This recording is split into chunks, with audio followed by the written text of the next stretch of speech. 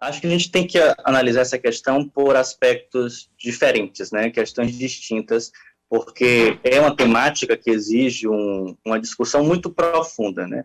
Inclusive que tem que ser feita para além do calor da emoção, por conta das diversas questões que estão inseridas, não só no que toca a questão da memória que está ali presente no monumento, mas como também no contexto em que tudo isso está acontecendo.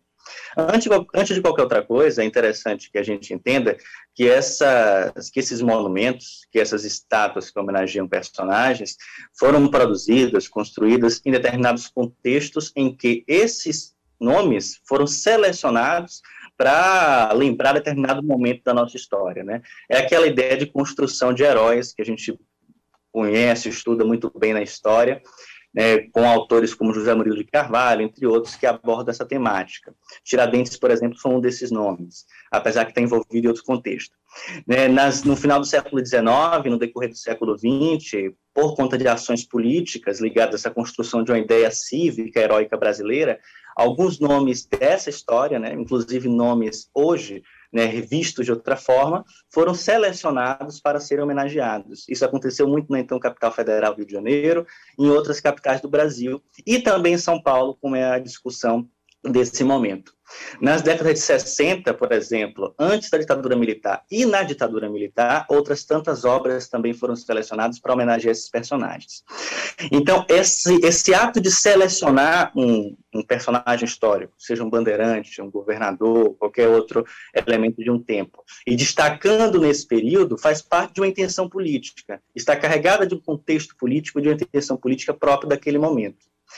O ato dessa estátua continuar nesse espaço público, ou ser retirado desse espaço público, ou mesmo passar por algum outro processo de remoção, um incêndio, uma, uma destruição, ou qualquer outra coisa, também está presente, faz parte da história, porque a história está em movimento constantemente.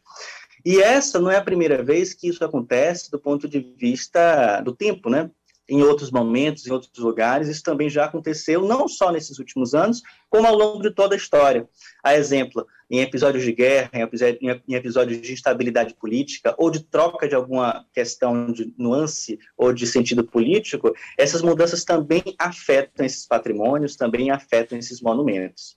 No caso dessa estátua específica, eu não só digo dessa, como de outras também, André, as pessoas que estão nos ouvindo, eu sou favorável que essas estátuas sejam removidas retiradas dos espaços em que elas estão e ocupem, então, memoriais ou museus. Então, no caso, o poder público, a prefeitura, o governo do estado, ou qualquer outro órgão que tenha o sentido de preservar essa memória, deverão retirar essas peças, nessas estátuas, e colocá-las em um museu.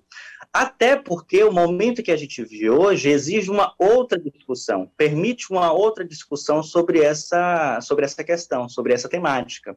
Então, se existe um grande pedido, não só por parte de movimentos, como de grande parte da população, para retirar esses personagens que representaram um momento tão cruel e agressivo da nossa história, que essas estátuas sejam retiradas, sejam contextualizadas e ocupem espaços em museus ou, dema ou demais casas de memória.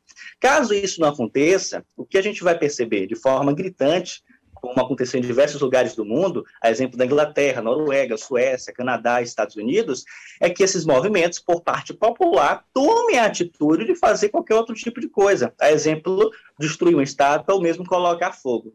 No caso da estátua de São Paulo, do Borba Gato, essa solicitação, esse pedido das pessoas, no caso dos paulistas, de grande parte das pessoas, para retirar essa estátua, já vem de um certo tempo, e algo que não foi feito, que não foi atendido.